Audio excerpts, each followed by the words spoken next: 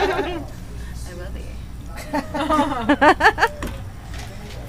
it clothing optional in this uh, little bit you have up there?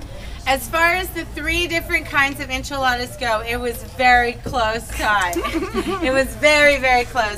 Each enchilada got two votes, and the tiebreaker went to one that gave this year's first annual enchilada cook-off winner goes to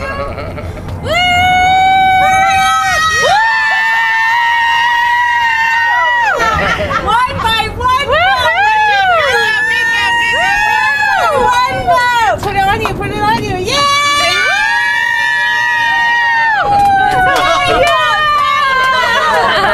Good job, good job. Good game.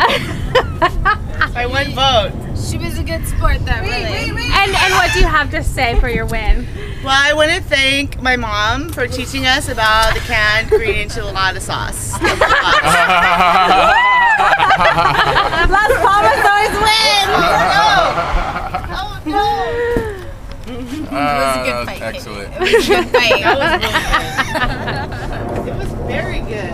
It was delicious. This was actually. And what do you have to say? I had a really hard time choosing. It was split too.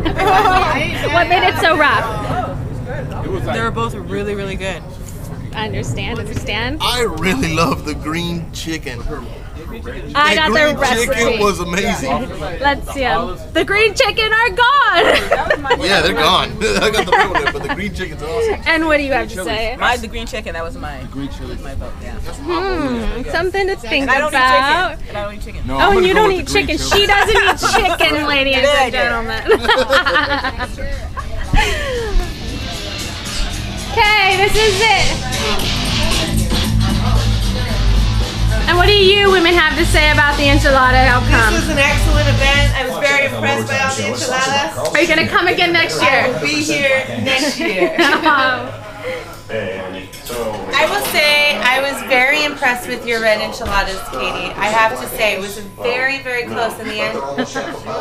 but our green enchiladas are family recipe. I mean, you can never go wrong with Las Palmas green enchilada sauce, and we've mastered the skill in making amazing enchiladas. let's see them. Let's see him. Oh boy, No, those that's look amazing. not the one to show. You gotta show them the yellow Isn't there? A... Nope. Okay. Good night.